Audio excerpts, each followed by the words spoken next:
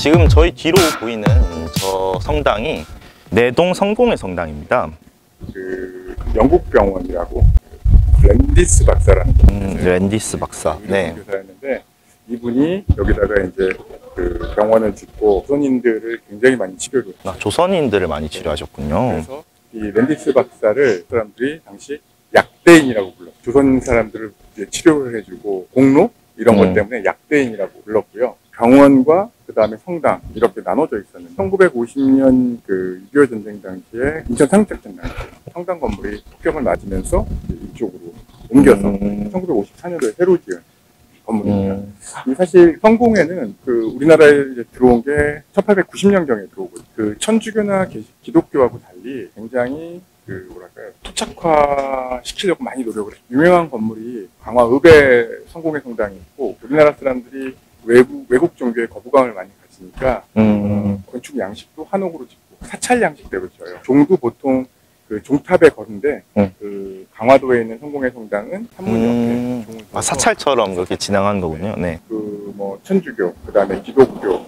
그리고 성공회, 그 외래 종교가 막 들어오는데 성공회 같은 경우는 기독교나 천주교 같은 경우는 성당이나 교회를 다 조선인 마을 쪽으로 지어요. 내리도 조선 사람들이 거주하던 지역인데 성공회 성당 같은 경우는 이 각국 쪽에 안에다가 짓습니다. 어, 안 해지나요? 안에 짓고 그러니까 이 미카엘 성당이 각국 쪽에 이, 요, 네. 요 도로가 방금 앞에 도로가. 네. 두개 경계했는데 네. 이 도로 안쪽에다 성공회 성당을 짓고 병원, 조선 사람들이 이용할 수 있는 병원을 여기다 짓. 여기는 음, 조선 사람들 그런 식으로요. 그러면서 음, 그러니까 천주교하고 음, 개신교보다는 조금 더이 조선 사람들이 혜택을 많이 받을 음. 수 있게끔 그런 역할을 많이 도움을 많이. 어, 제가 지금 나와 있는 곳은 그 강화도 초입입니다. 강화대교 아래에 있는 그 진해루라고 강화군에서 복원한 그 강화 외성의 문루 위에 올라와 있습니다. 저희들은 그 지금도 이곳을 통해서 어, 육지에서 강화도로 들어오는 자동차들이 이 강화대교를 건너서 강화도로 들어오는데 어, 강화대교가 놓이기 전에도 어, 조선시대, 고려시대에도 강화도의 통로는 출입구는 바로 이곳 갑곳이었습니다. 그래서 여기를 갑곳나루 어, 이렇게 부르는데요. 특히 이제 그 성공의 선교에 있어서 어, 되게 중요한 관문으로 활용이 되죠. 이곳이 1890년대 성공회를 선교했던 그 왕남도 신부가 어, 이 강화도에 들어왔을 때 이 갑곳 주변에 특히 저 지금 건너편으로 보이는 저 일대가 우리나라 해군사관학교의 전신이라고 할 수 있는 조선 수사해방학당이 있던 곳입니다. 1893년도에 문을 열어서 음, 오래 가진 못해요. 이 청일전쟁 때문에 1894년도에 이제 그 문을 닫게 되는데 에, 이 조선수사해방학당이 문을 닫고 난 그 부지를 어, 성공회에서 매입을 합니다. 그래서 강화도 들어, 강화도로 들어오는 초입이다 보니까 많은 사람들이 이 오가고 왕래가 있었을 거 아니에요. 그러니까 이, 이런 그 조선 사람들 대상으로 선교를 하기 위해서 이 땅을 매입을 하는 거죠. 그리고 여기에 예, 초창기 이 성당을 짓습니다. 그래서 이제 강화도 같은 경우는 성공회의 교세가 굉장히 셌습니다. 초창기에 강화도에 들어왔던 성공회 선교사들이 혹은 선교사들의 통역을 했던 사람들이 강화도에 딸려 있는 이 섬으로 가서 이 성공회 선교를 하기 시작하는데요. 이 왕남도 신부의 그 통역이었던 그 윤정일이라는 분이 이 주문도에 들어가서 선교를 합니다. 선교를 했는데 사실 주문도가 그 당시에 이 선교에 적극적으로 이렇게 에, 동화되지는 않았던 것 같아요.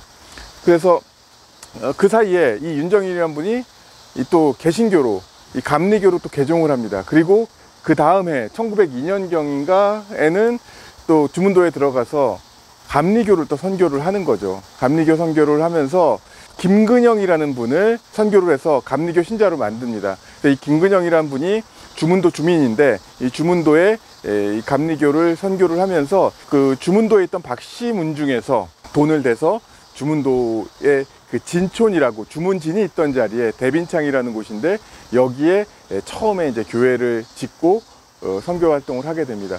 이 교회가 어, 1923년도에 한옥 건물로 새로 지어요. 새로 개보수를 해서 진촌교회라는 이름으로 포교 활동을 하죠.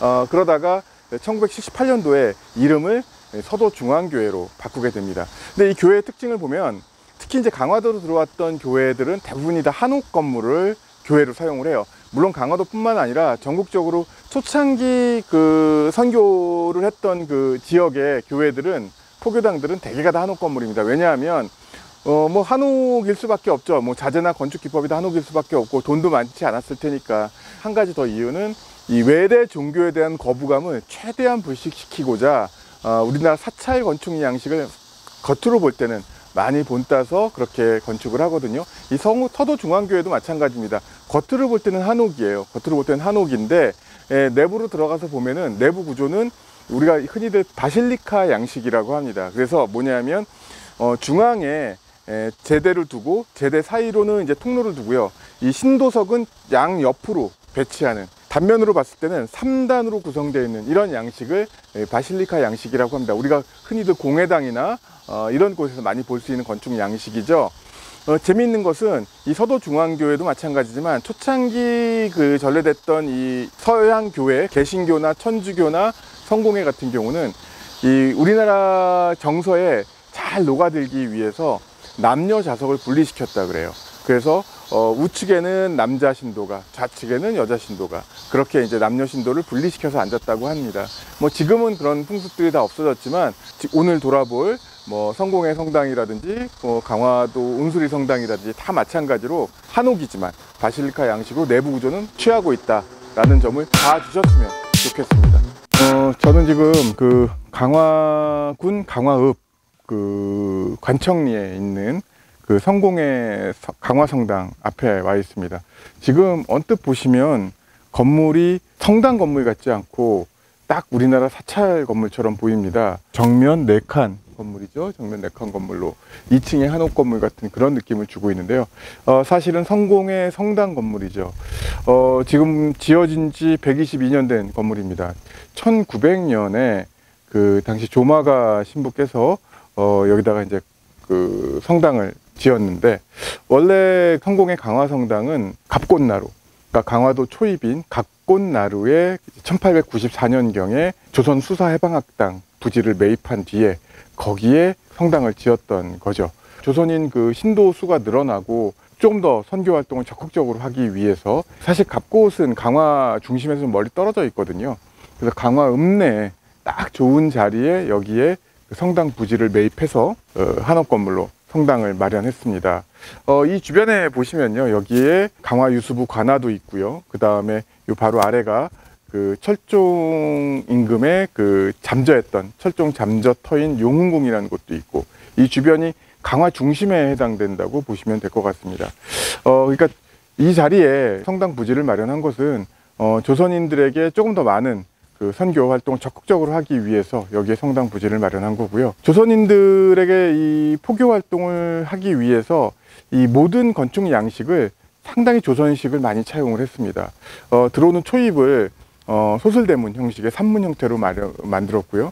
그 다음에 들어오면 우리가 왜 사찰에 가면 천왕문을 지나거나 일주문을 지나지 않습니까? 그런 것처럼 주- 중간에 또 하나의 문을 만들어 놓고 어, 여기에 이제 종각을 두었어요. 이 교회나 성당의 종 같은 경우는요, 종은 종탑, 종을 높이 달고 거기서 종을 아래에서 흔들어서 좌우로 흔들어서 종을 치면서 예배 시간을 알리는 게 일반적이에요. 근데 이 성공의 강화성당의 종은 딱 조선 양식의 종으로 종각을 별도로 마련해서 옆에서 종을 치는 형식으로. 그러니까 우리나라 사찰에 있는 범종과 아주 유사한 양식으로 어, 만들어 놨습니다. 이것이 불교 신앙을 가지고 있던 조선 사람들을 조금 더 자연스럽게 하기 위한 장치였다고 볼 수 있고요. 특히나 성당 건축도 마찬가지죠. 지금 보시면 이 건물 양식도 기와 지붕에 이 딱 한 옥 건물에다가 주련까지 썼어요. 주련은 이제 기둥에 붙 문구라고 할 수 있는데요. 이 주련도 보시면 그 성경에 나오는 구절을 한자로 풀어서 이렇게 적어놨습니다. 마치 우리가 사찰에 가거나 양반가에 가면 주련에 이렇게 글을 적어 두듯이 식으로 만들었습니다. 더 놀라운 거는 산문과 그 다음에 성당 사이에 나무를 하나 심었는데 이 나무가 그 석가모니가 이 열반에 드셨던 이 보리수 나무죠. 이 보리수 나무 아래에서 석가모니가 열반에 드셨는데 이 보리수 나무를 심어서 정말 여러 가지 형태에서 조선 사람들이 아 이게 외래 종교가 아니라 우리 불교구나 우리 시- 전통 신앙과 비슷하구나 이런 인식을 주게끔 그렇게 만들었습니다. 그렇게 된 연유에는 18세기 말부터 그 우리나라 곳곳에서 천주교에 대한 박해가 일어나잖아요. 그러니까 이 서양 종교에 대한 조선 사람들의 거부감이 워낙 심하다 보니까 어 이런 그 거부감들을 조금이나 완화시키기 위해서 겉 모양만이라도 조선식을 많이 따랐던 거죠.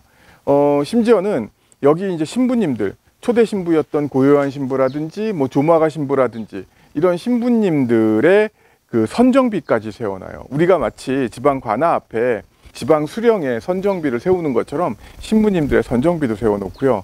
어, 그래서 여러 가지 측면에서 외관은 조선의 건축 양식, 조선 특히 조선 사찰의 건축 양식을 많이 차용을 했다라는 점이고요. 실내에 들어가면 또 다른 광경이 펼쳐집니다. 이 건물 자체는요, 사실 1900년 정도 되면은 이제 그 당시 경- 경복궁 중건이라든지 혹은 그 건축 때문에 소나무가 굉장히 귀했어요. 그래서 당시 이 조마가 신부님께서 백두산에서 적송을 직접 그 매- 구입을 해서 실어다가 백두산 적송 가지고 만든 그 건물이고요. 궁궐 건축을 담당했던 그 도목수 이 목수를 불러다가 성당 건축을 맡겼다고 합니다. 그래서 굉장히 튼튼하게 잘 지어진 건물이고요. 지금 뭐 122년이 지났지만 아직까지도 튼튼하게 외관을 잘 유지하고 있는 그런 건축 양식으로 보시면 될 것 같습니다. 네, 그 성공의 성당 안으로 내부로 지금 들어왔습니다. 지금 보시면 어, 되게 고풍스러운 그런 목조 건물의 형- 느낌을 보실 수 있는데 우리나라 사찰 건물과는 밖에서 볼 땐 비슷했잖아요. 안에 들어오면 조금 차이가 있습니다. 일단 우리나라 사찰 건물은 이렇게 안에 기둥이 많지 않죠. 어, 건물의 외관의 기둥들이 그 힘을 다 받고 있어요. 그래서 안에서는 이 기둥이 없는 구조인데 이 건물 같은 경우는 내부에 이 열줄을 세워서 열주에서 이 쭉 줄을 지어 세운 이 기둥에서 지붕의 무게를 다 받고 있죠. 그러니까 어, 우리나라 사찰 건축이나 궁궐 건축은 안에 기- 내부에 기둥이 없다라는 게 특징이라면 어, 이 건물 같은 경우는 외관은 한옥인데 내부 구조는 한옥과는 조금 차이가 있는. 그래서 어, 이런 건축 양식, 그러니까 열줄을 두고 공간을 3분할 시키고 또 제 뒤쪽으로 보이는 이렇게 제대를 두고 혹은 어, 이런 제대를 두는 이런 양식을 바실리카 양식이라고 합니다. 그래서 우리가 결혼식장 그리고 공회당, 뭐 예배당 이런 이런 곳에서 흔히 볼 수 있는 어, 그런 건축 양식이라고 할 수 있겠죠. 이 밖에서 봤을 때 2층처럼 보여요. 근데 안으로는 통구조입니다. 2층에 뻥 뚫려 있는 구조고요. 양쪽으로만 어, 단층으로 이렇게 지붕을 내서 어, 중간을 보면은 이분할되어 있는 그러니까 중간은 굉장히 천정이 높은 구조고 양쪽으로는 어, 천장이 낮은 그런 구조로 보시면 될 것 같습니다. 공간을 제대와 신도석을 구분하는 그런 형태로 이렇게 에, 볼을 둘러서 예, 이렇게 공간을 분할을 해놓고 있습니다. 우리나라 그 한옥으로 만든 교회 건물이나 혹은 성당 건물 중에서 가장 오래된 건물이라고 할 수 있겠죠. 1900년도에 지어졌으니까 지어질 당시에 조마가 신부께서는 이 회당을 에, 성 베드로와 바울 성당이라고 이름을 붙였다고 해요. 성공에서는 그렇게 이름을 붙였지만 우리 이제 주민들은 흔히들 그냥 성공의 성당, 강화 성공의 성당 이렇게 부르고 있습니다. 네, 어, 저는 지금 그 성공의 온수리 성당에 나와 있습니다. 어, 사실 예나 지금이나 강화에서 이제 강화읍 다음으로 좀 사람들이 많이 모여 살고 번화한 곳이 바로 이 길상면 온수리죠. 그 조마가 신부가 강화읍의 성공의 강화성당, 그러니까 성 베드로와 바울 성당을 1900년에 짓고 어, 선교 활동을 본격적으로 한 이후에 에, 아마 길상면 온수리 이곳에다가 어, 성당을 짓고 선교 활동을 하려고 했던 것 같아요. 이름을 붙였습니다.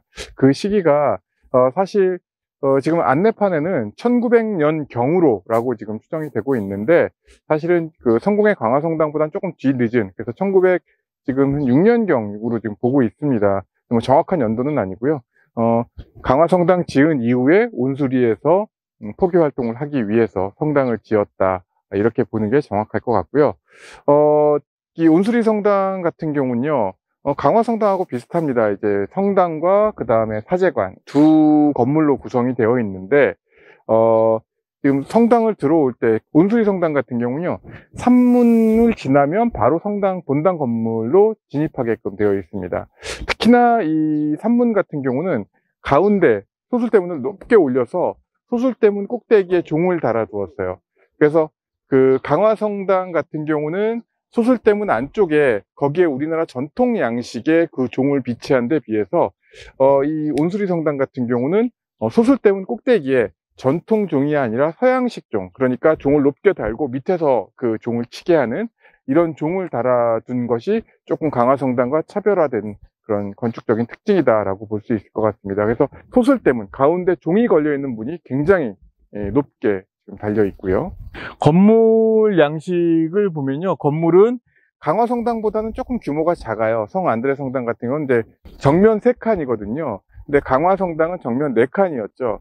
그래서 신도수가 강화성당에 비해서 이 온수리 성당이 조금 적었다 당시에 이렇게 볼 수 있을 것 같습니다만 지금 현재는 강화성당보다 이 온수리 성당이 신도수가 조금 더 많은 걸로 알고 있어요. 왜냐하면 강화읍에 위치한 강화성당 같은 경우는 강화읍에 워낙 외지인들이 많이 들어와 살다 보니까 이 신도수가 정체되어 있는 반면에 온수리 같은 경우는 강화읍보다 이, 그 뭐랄까요, 인구 이동이 많지 않거든요. 성공의 신자가 강화읍보다 온수리 신자가 훨씬 더 많다 그래요. 기존의 그 본당 건물 그 우측에 새롭게 저렇게 지금 보시면 큰 성당 건물을 짓고 어, 저기서 지금 예배를 드리고 있습니다. 어, 이 건물도 보시면 어, 강화성당과 마찬가지로 전형적인 한옥 건물 형태를 취하고 있어요. 그래서 밖에서 보시면은 딱 그 단층의 한옥 건물, 팔짝 지붕 형태를 하고 있는 한옥 건물로 보입니다만 내부 구조는 강화성당과 마찬가지로 그 내부 열줄을 두고 공간을 흥등분을 한 바실리카 양식을 그대로 취하고 있어요. 한옥 건물을 활용한 교회 건물과 아주 유사한 형태로 어, 지어졌다고 볼 수 있을 것 같습니다. 다만 강화성당과는 다르게 되게 소박하게 지어졌습니다. 그래서 보시면 강화성당 같은 경우는 단청을 화려하게 칠하고 주련도 달고 한 것에 비해서 이 건물은 초창기부터 단청을 칠하지 않은 것으로 보입니다. 단청 칠하지 않고 주련도 달지 않고 강화성당이 사찰 양식을 아주 그대로 어, 적용을 했다면 이 성 안드레 성당, 온수리 성당은 사찰 양식과 일반 민가 양식을 적절하게 섞어서 이렇게 구현을 했다라고 온수리 성공의 성당 같은 경우는 조마가 신부가 짓긴 했습니다만 광산 김씨 가문에서 일부 건축비를 대고 지역 주민들이 신도들이 돈을 모아서 어, 건물을 지었다고 어, 전해집니다. 그래서 이 온수리 성당 같은 경우는 지역 주민들의 힘으로 지어진 성당이다라는 점에서 특징을 찾을 수 있을 것 같습니다. 자, 그럼 강화성당 어, 성공의 온수리 성당 설명은 여기서 마치도록 하겠습니다.